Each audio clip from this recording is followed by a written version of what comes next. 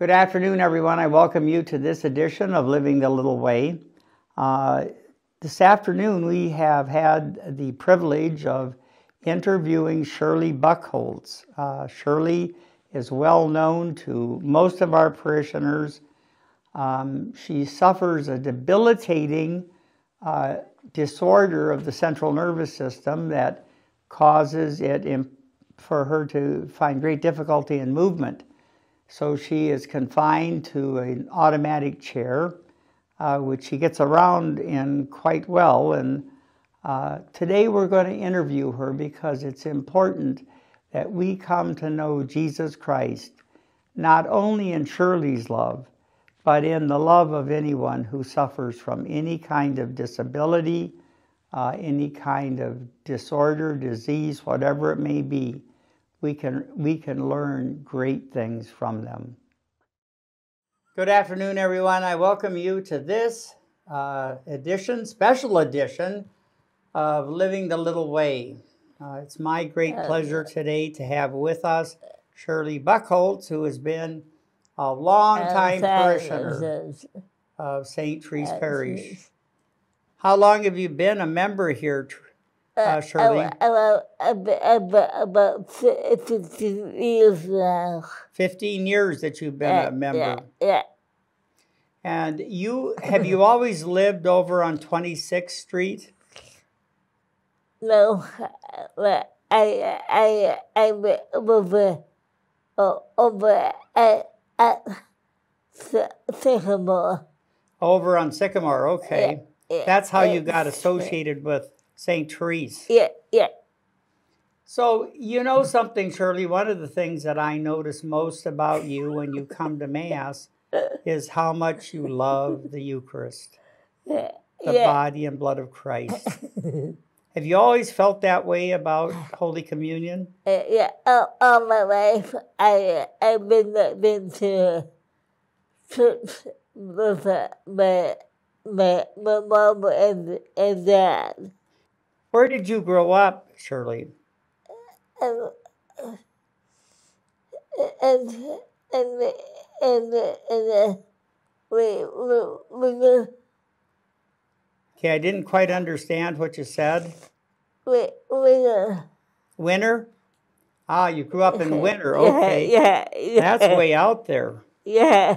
So when how old were you when you came to Sioux Falls? I, I was uh, five years old. uh, 5 years old and you and you lived in a special school or a special Yeah. home? Yeah, I, I went to school and in here. Okay. Was that hard to leave home? Yeah, yeah, I bet it was. Yeah. I bet it was. So then how long have you been in Sioux Falls? About 14 years. 14 years. Yeah. That's a long time. I'm so glad you're a member of the parish. What do you like most about St. Therese? Okay, I, I'm over here. so I, I can help help you out. You can help us out, and you do that in a lot of ways. You uh, pass out uh, music issues when you come in, and you welcome people, um, and you sing in the choir, yeah, and you always come to the dinners too, the fish Yeah, dinners. And yeah, yeah. what do you like about the dinners? Yeah, yeah, yeah, I, I can help help serve. You can help serve, Yeah, and you're a pretty good good server, let me tell you. But you also like the food. Yeah, yeah, that too. That too, huh? Okay. So, Shirley, tell me what, you know, when you think about your faith and, and going to church, what's most important to you? Oh, this is uh, my my my home. This is your home. Yeah, 'cause I I love the St. St. So you Uh, really feel that that this is like your real home and you come here and you feel that everybody loves you and accepts you. Is that right? Yeah, I've never seen anybody that's had as much love of the Eucharist as you have. can I, can I, I I help you with the, with the, with the, uh, a bread and, and the wine up. Oh, bringing the bread and wine up for the Yeah, gifts. Yeah, Yes, we could certainly do that. Would you like to do that? yeah, yeah. Okay, well, the next time you come, we'll do that. yeah, that all right? yeah, yeah. Okay, so you have to stay in the back until that time. though. Okay, All right? yeah. And you have to remind me because I'm kind of forgetful. Do you remember the time I forgot you yeah, and you came up to the altar and you just had tears coming down your face? I felt so bad that I had forgotten you. But you know, you taught me a lesson. You taught me that if you love God in the Eucharist, that's the most important thing. Do you feel that way? yeah. yeah. I, I love the people here. I, I can help, help out. And, and I can talk, to them. Uh, please. You can do what? talk, talk to you if if if I have to. That's right, you can. I come over and visit sometimes, don't I? Yeah, yeah. She's got a really nice apartment. Um, she's got a big bedroom, and there are people there that watch over her. Also, has got a big fancy TV. Yeah, you've got a lot of movies too. yeah. Which is your favorite movie? Um, th- this is the the fire. Oh, Mrs. Doubtfire. Yeah, You like that one, huh? yeah. That's a pretty good one. Yeah. well, you know something, Shirley. I'm so happy that you're part of our parish. I'm also fascinated by how many art projects you do. How many do you do a week? You spend your time doing a lot of that, don't you? Yeah. Yes, you do. And you're quite good at it. You tell me how you do it. Like if I were your helper, you tell me where to paint or the color to use, Yeah, yeah. and you tell me what you want on the canvas and I I I I the the take my time uh, to to to to do all all three cups of, of the Okay, what about when you're doing like the ceramics? Uh, that that do the uh, the I Oh, you tell them what to what color to paint them. yeah yeah Where do you uh. do those at, Shirley? At home Oh, you do all of that at home, and then they take them somewhere and fire them. yeah I at the color we we burn Okay, all right. Well, you you do that probably what once or twice a week, don't you? yeah Well, that's so good. You know, you're a real witness to people, Shirley, and you got a great sense of humor. You know something? You and I are just about the same age, aren't we? yeah. How old are you? And uh, so, so then too. 72. Yeah. Wow, I'm a little bit older. I'm one year older than you. And you're much more beautiful than me. So, how's that for you? Well, that was quite a interview that we had with Shirley here just a few moments ago. Um, some questions came up and were given to me uh, about this uh, particular uh, edition of Living the Little Way, and uh, especially as it relates to Shirley. One of them was about how Shirley communicates, and of course, because of the nature of the uh, disorder that she has, the disease that she has, it's hard for her uh, to be clear in her speech. But um, I found over the years that as I've communicated with her, um, it's easy for me to begin to pick up uh, exactly what she's saying. And even if I have to um, come back and say, Can you say that again, Shirley? Um, she's never offended by that uh, and always goes on to clarify what she meant. Um, one of the things that I've also noticed with people is that because they have trouble maybe understanding Shirley, they back off and they don't want to um, communicate because they uh, are afraid either she won't understand or uh, that you won't understand what she's trying to tell you. But you know something, Shirley's an extremely sensitive individual, and uh, she understands when people are fearful around her or uh, hesitant to communicate with her. Uh, and you know, um, she's stock full of feelings, and so I think we need to be sensitive to never withdrawing from her and always engaging with her. Another thing that I've come to know about Shirley, and this is one thing that Deacon Thane wrote down, was that she always has joy in hardship. Um, and she's had some pretty rough things that have happened to her. Um, her mom and dad dying, of course, were difficult for her. Um, she has one sister here in Sioux Falls, but because of how schedules uh, blend, you know, it's not always easy for her to get together with her sister. Um, and I know that that causes some hurt for Shirley. Um, but she endures it and she doesn't ever pull away from it. She doesn't say, No, I don't want to go through this.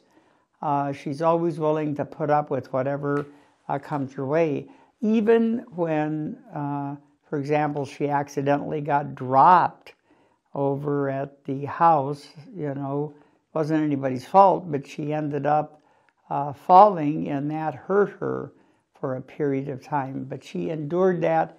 She never was there blaming anybody or uh, being angry with anybody. She just endured what came her way. One of my very favorite memories of Shirley is um, she had been gone for a little bit of time um, and she had had some trouble swallowing. And so um, we couldn't give her the Eucharist because they were afraid that she would aspirate or um, the, the host would end up in her lungs. So, uh, for a period of time, she wasn't receiving Holy Communion. And when they cleared her again to receive, they told us just to give a very tiny piece to her. Well, the very first time she came to Mass after that, I uh, just forgot. I forgot to bring the Eucharist to her um, or to send anybody over with the Eucharist to her. And after Mass, she came up and there were just tears coming down her eyes, out of her, down her face. She was so hurt and so upset that she couldn't receive Jesus and the Eucharist. And that caused me to really look at my own reverence for the Eucharist, how much I love the Eucharist, and I do, but you know, maybe I need to be as transparent and open with my feelings as Shirley is. Um, thank the Lord, I haven't forgotten to give her communion since, Came close one time, but somebody reminded me that I'd better get over there to take care of her. So I'm always reminded of her love of Jesus Christ and the Eucharist. One of the things that is another uh, memory that I have is each Christmas Shirley brings in art projects and gifts that she's made for different people in the parish. And this last Christmas, she brought in this painting for everybody here at St. Therese. And if I look at it, it says, These are the things that she loves about St. Therese. And she's got a heart and St. Therese written in the middle of it. And she says, I love the fish fries. I love the bake sales. I love music. I love my mom and dad being here. I love going for coffee. I love Father Kevin cookies, the kitchen, gardening, um, and she also loves uh, the fact that this is her home, and that's how she sees St. Therese Parish. So, this is a prized possession that we'll keep here because it took her a long time to make sure that all of those things were included on this painting.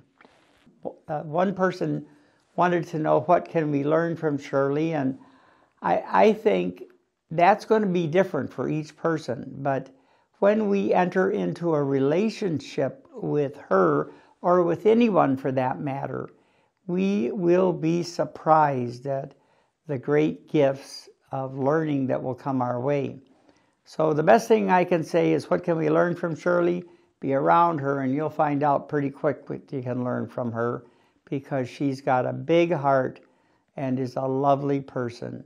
She'll teach you and teach you well.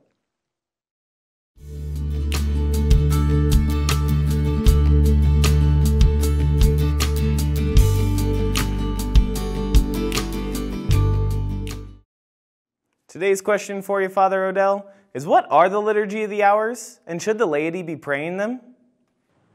The Mass is the preeminent way that we offer worship to God in a public way.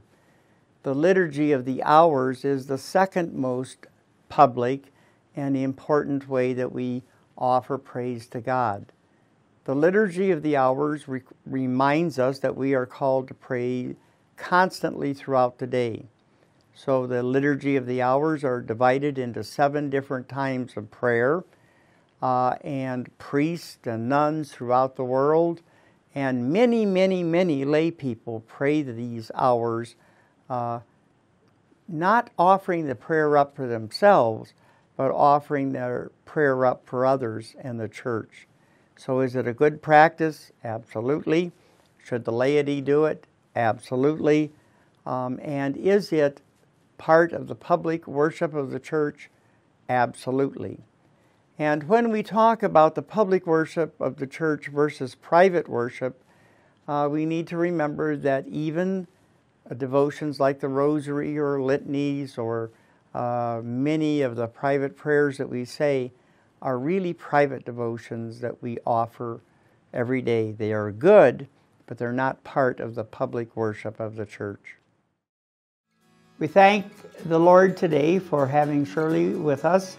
Uh, we, I hope that we have her for a lot longer. You know, she's exactly my age, and so um, I know that sometimes it's hard for her to get around, but uh, let's pray for her and for us that we may always be open to people um, that have trouble getting around, uh, and yet they still come around. They want to be close to Jesus and close to us. Do you want to say a prayer? You want to lead the prayer? Yeah. Okay, in the name of the Father, Uh, and of the Son, and the the Holy Spirit. Amen. And then, What prayer are we going to say? Holy Name, man, man. Okay, Hail Mary, full of grace, the Lord is with thee. Blessed art thou among women, and blessed is the fruit of thy womb, Jesus.